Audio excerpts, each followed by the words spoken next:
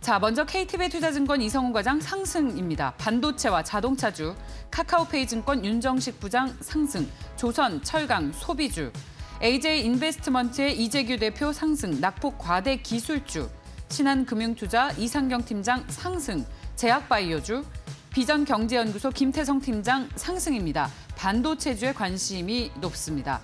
자, 오늘 모든 전문가들이 일제히 상승으로 전망하고 있는 가운데 오늘도 네, 어, 관심주는 다양하게 분포되어 있습니다. 앞에서 신 소장께서 이야기를 하셨듯이 자, 성장주, 가치주에 관계없이 오늘도 다양한 종목들이 분포가 되고 있는데요.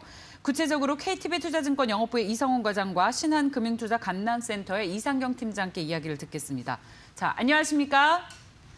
네, 안녕하세요. 네, 좋은 아침입니다. 먼저 이성훈 과장님, 오늘 증시가 상승 출발이 예상이 되고 있는 가운데 하지만 장중에 보면 여전히 변동성이 좀 높습니다.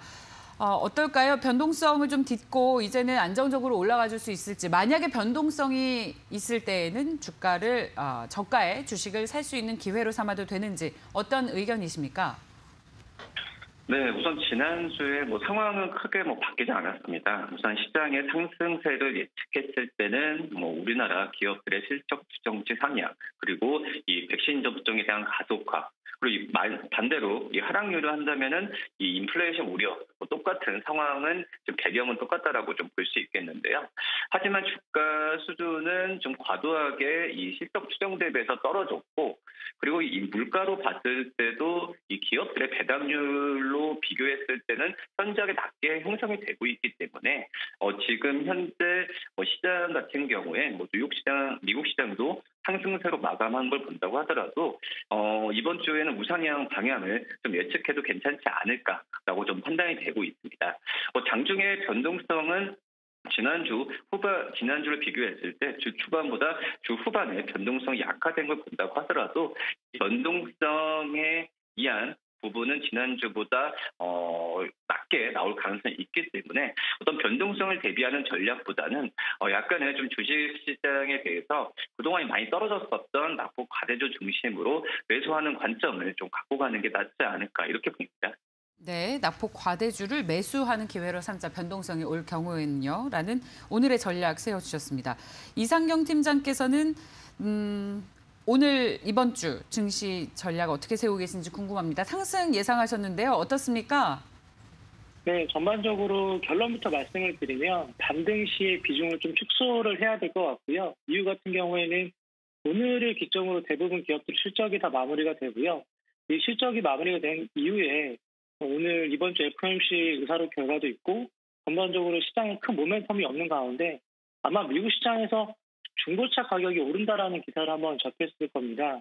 아마 미, 중고차 시장이 형성된 이래로 가장 처음 있는 일인데 그만큼 시장에 돈이 많이 풀려서 현재 나온 새차 가격보다 새 차를 기다리는 기간보다 내가 오히려 프리미엄을 주고 자동차를 사겠다라고 하는 수요가 더 많은 거고요. 뭐 주택 가격이라든지 나머지 최근에 오르고 있는 곡물 가격이라든지 구리 가격 여러 곳에서 지금 버블에 대한 여러 가지 형상이 나오고 있거든요.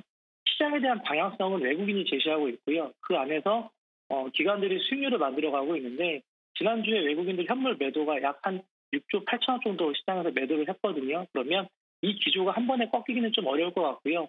아마 추가적으로 5, 6월 달에 좀 이어질 것 같다라고 저는 보고 있습니다. 그래서 가격 조정보다는 기간 조정으로 좀 이어질 가능성이 있고 그 안에서 투자자분들께서는 어느 정도는 어, 포트폴리오 비중 축소라든지 그리고 신용이라든지 레버리지를 일으킨 자산에 대해서는 어느 정도는 좀 유동성을 좀 줄여가면서 시장을 좀 봐야 되지 않을까라고 생각을 하고 있습니다. 그렇게 말씀하시는 것은 음, 현금 비중을 늘려서 앞으로 주식을 살 수 있는 기회를 좀 노려보자라는 말씀이신가요? 아니면 지금과 같은 변동성이 있는 어떤 조정 국면이 더 길게 이어지기 때문에 주식 투자를 당분간 좀 하지 않는 게 좋겠다라는 보수적인 관점이신 겁니까? 네, 그러니까 주식 기업을 투자함에 있어서 가장 두 가지 포인트가 있을 것 같은데 기업이 성장하는 기업이냐 혹은 많이 저평가되어 있는 기업이냐라고 시장에 대한 관점을 봐야 될 것 같은데 최근에 시장에서는 많이 오른 주식이 성장주이고 덜 오른 주식이 가치주입니다. 그만큼 시장에서 어, 업종과 종목을 불문하고 뭐 시장 바닥 대비 한 3, 4배 정도 오른 종목들이 굉장히 많이 있기 때문에 현재에서는 덜 오른 종목을 찾는 게 굉장히 좀 어려운 시점이고요. 그렇기 때문에 내가 현금화 시킬 수 있는 수익이 난 기업이라든지 투자에 대한 자산은 어느 정도는 좀그 회수를 해서 현금화권 하는 게 좀 유리하지 않을까라고 생각을 하고 있습니다. 네, 잘 알겠습니다. 자, 인플레 공포 속 증시 조정 장세에 현금 비중을 확대하면서 좀 시장을 보수적으로 보자라는 말씀으로 정리하겠습니다. 이상훈 과장님, 그렇다면 저가 매수를 노려볼 업종이나 어, 종목은 무엇입니까? 네, 역시 과대, 낙폭 민감주, 자동차, 뭐 반도체, 그리고 건설 여기서 top pick 가장 큰 이 대형주 top pick 종목을 매수하는 게 낫다라고 판단되고 있고요.